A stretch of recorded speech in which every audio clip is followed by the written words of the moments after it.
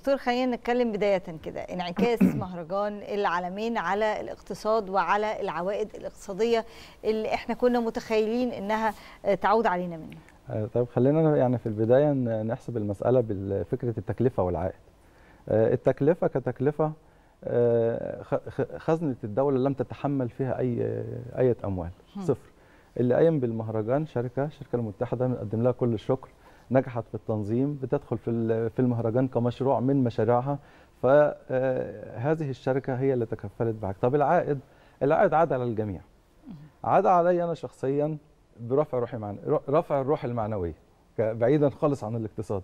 ثم بعد كده ندخل في الاقتصاد. نحن أمام مدينة جديدة قامت بها الدولة استثمارات ضخمة جدا جدا.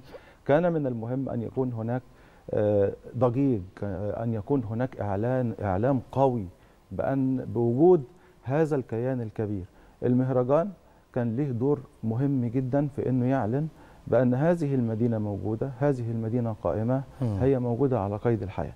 ثم نأتي بعد ذلك إلى قضية رعاية المستثمر. الدولة المصرية لا تشجع المستثمر ليبدأ عمله فقط ولكنها تدعمه أيضا من أجل استمرارية ربحه. فمن خلال هذا المهرجان المستثمرين اللي حصلوا على وحدات تجارية وحدات استثمارية في هذه المنطقة من خلال هذه المهرجان بيبدأ يجي له عميل يكسب لأنه مم. مكسبه هو اللي هيشجع آخرين إن هم يجوا يجوا. فأنا لما بشوف بلاقي إيه وده نموذج مهم جدا لكل الشركات. الدولة المصرية عندما تضع مخطط استراتيجية. مش مطلوب إن الحكومة نفسها هي اللي تقوم بكل شيء. لابد إن الشركات تشتغل عليه. فإحنا أمام مشروع قامت بيه الدولة المصرية هناك شركات زي الشركات الشر... يعني الأبراج مملوكة للشركة. هذه الشركة صارت مع مسار الدولة فحصلت على حوافز وحصلت على مزايا. ثم تأتي شركة الشركة المتحدة لتبرز ذلك.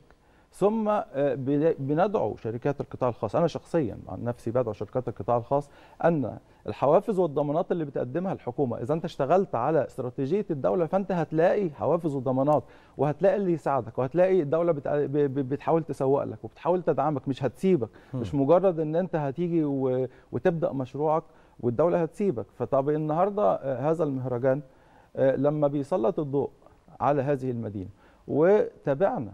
على فكرة مش المدينة بس الساحل الشمالي بالكامل. نجحت هذه المدينة بموقعها الفريد أن تكون عاصمة للإقليم الغربي وإنها تجذب عدد كبير من من السائحين ورواد الأعمال والمستثمرين. على طول كل واحد لما بيكون في مكان عينه بتشوف. لو لو حد عنده استثمارات في القطاع الخدمي بتلاقيه هو في وسط ما هو بيستمتع أو عينه بتقتنص الفرصة.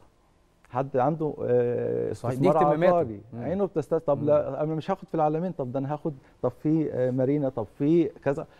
ففي فرص. الفرص الاستثمارية اللي موجودة في العالمين كثيرة جدا ومتنوعة جدا وواعدة جدا بإمكانيات كبيرة جدا. هذا المهرجان سلط عليها الضوء فتحققت نتائج مباشرة حالية ونتائج مستقبلية كبيرة جدا أتصور إن إن كل ما تم التخطيط إليه وكل ما تم استهدافه من المهرجان قد تم تحقيقه بالفعل. عظيم، اذا المشاريع كانت موجودة كانت محتاجة بس حد إيه ينور على هذه المشاريع للمستثمرين.